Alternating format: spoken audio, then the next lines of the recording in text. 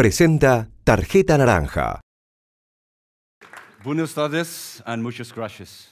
Muchas gracias for inviting me to this great uh, TEDx event Cordoba 2012. I'm only honored to be here amongst you to share an idea. An idea, unfortunately, which is not mine. Now, an idea that has been conceived two or three decades back in the small Himalayan kingdom of Bhutan. This idea of gross national happiness and pursuing a development philosophy based on the happiness of people, something which was very unconventional at the time when we started off. So, this is the idea that I have come to share with you in the spirit of the theme of uh, the event Ideas That Move Ideas.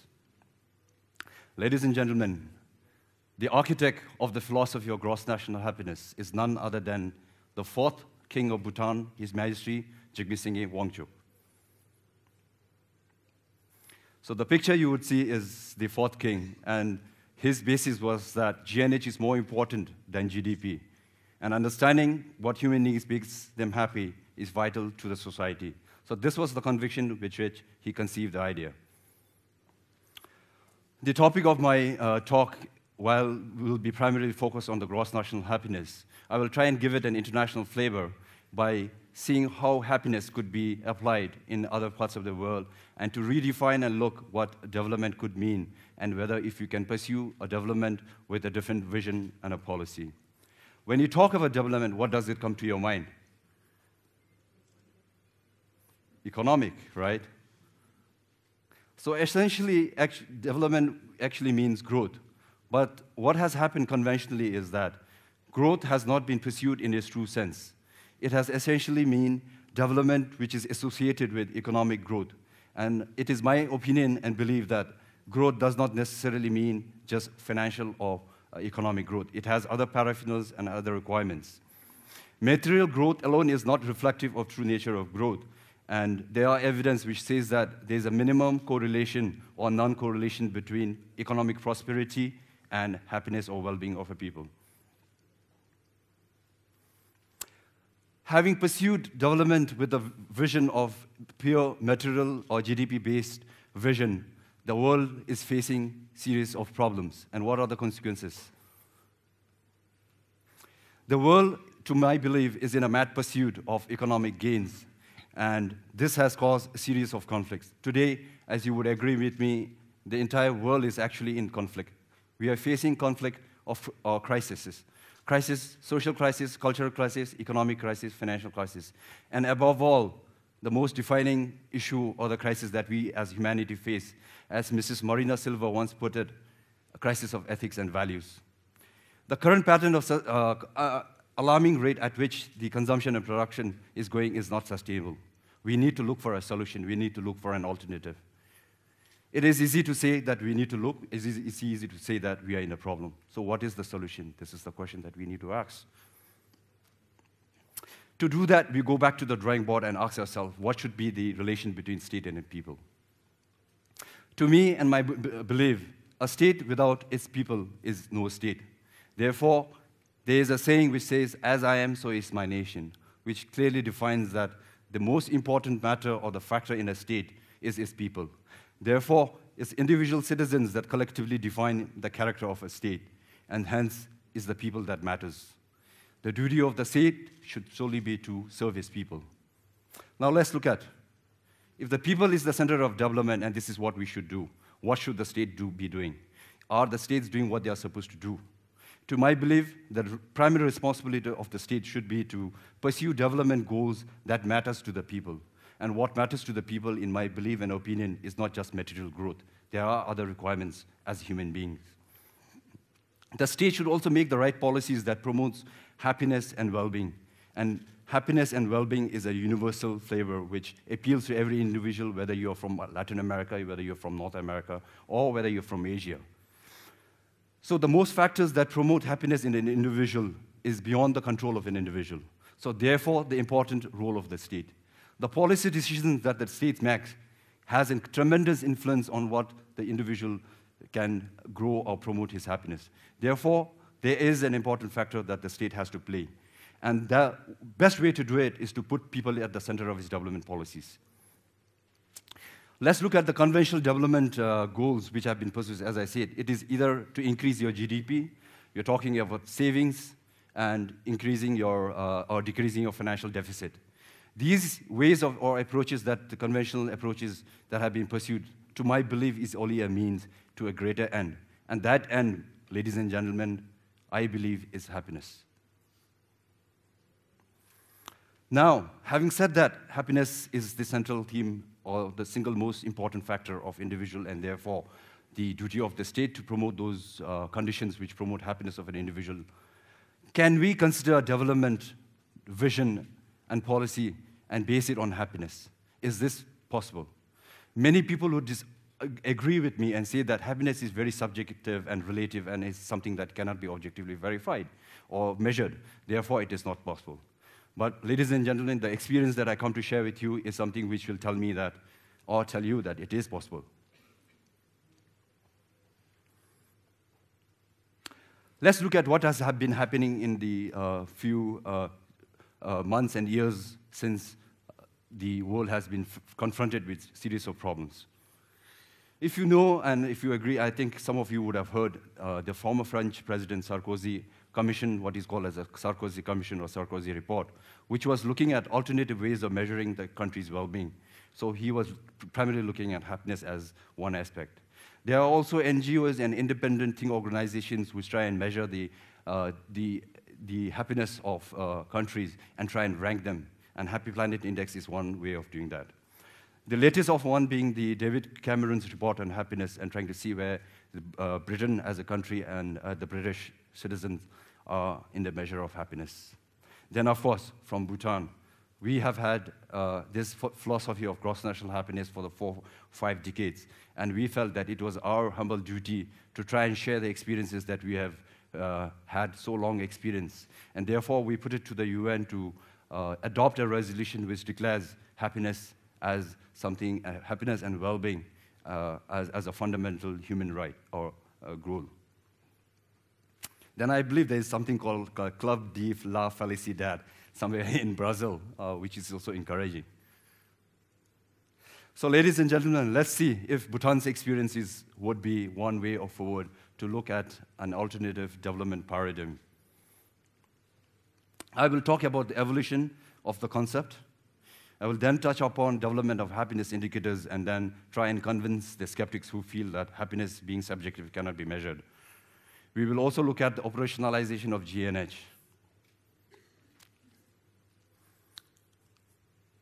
So, ladies and gentlemen, let's take a minute and join me and let's take a virtual tour to Bhutan.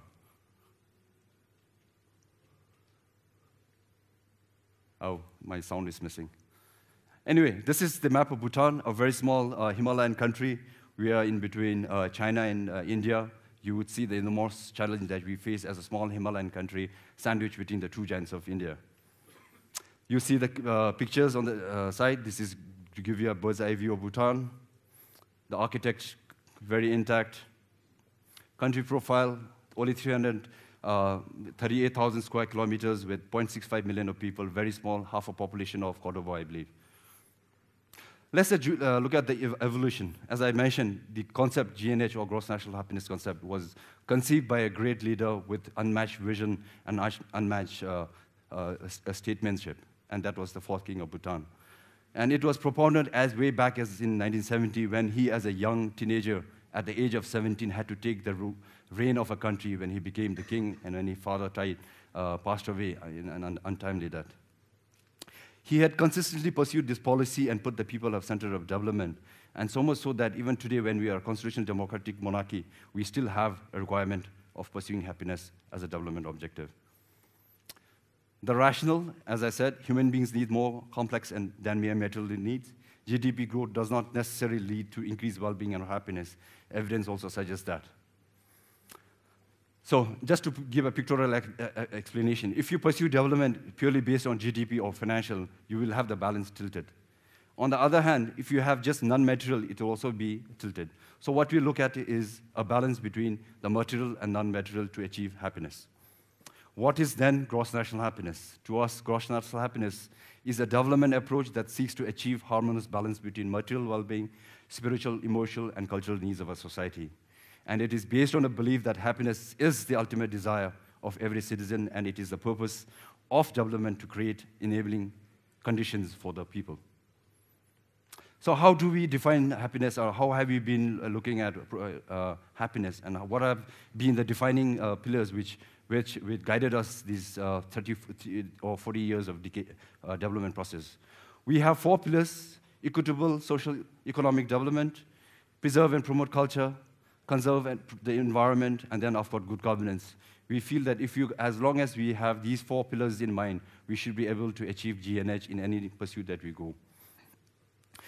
In terms of operationalizing this concept, what have we done? We have this a five plan, five-year planning system, and the Central Planning Agency is the agency which is primarily responsible to uh, develop plans. So therefore, we have now have what is called as the Gross National Happiness Commission, which uh, maintains and mainstreams GNH into development policies.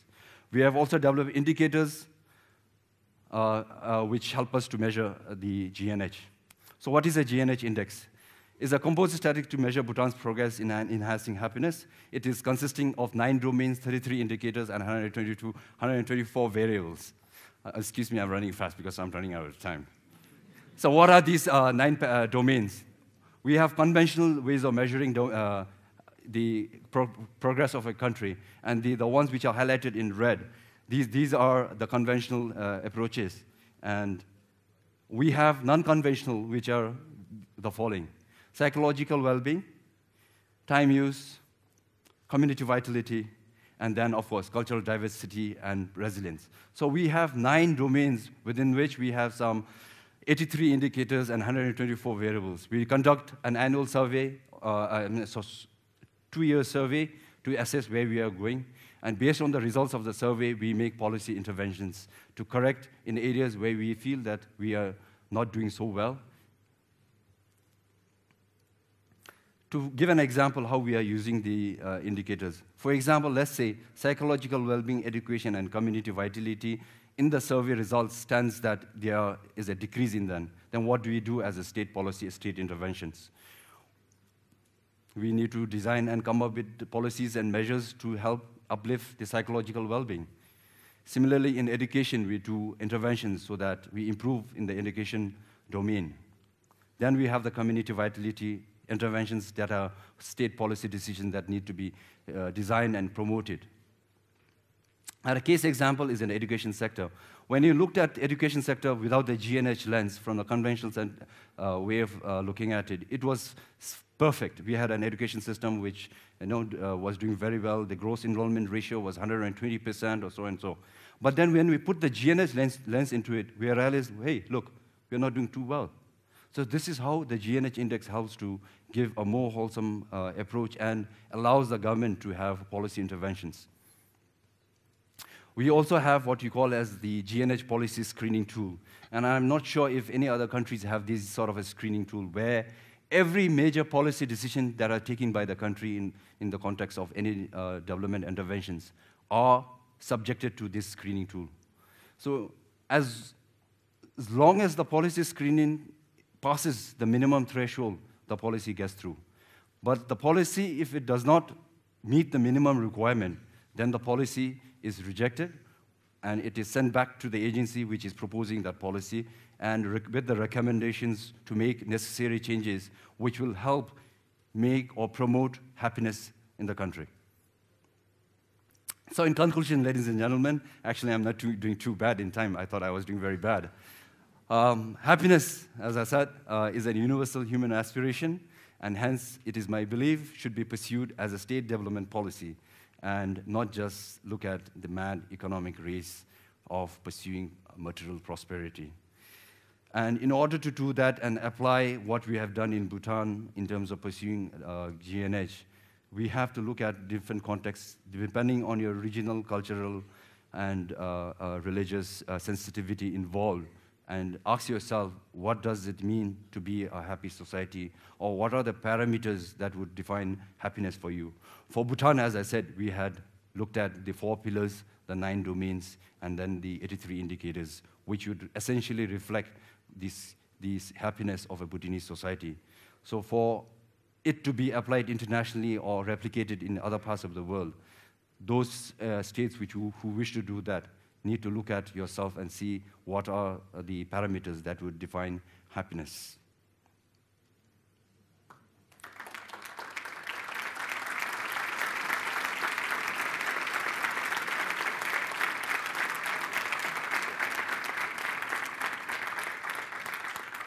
How many of you are happy today? I would say 90% are happy because you are the lucky 100 lottery winners, right? Good luck. Thank you. Muchas gracias.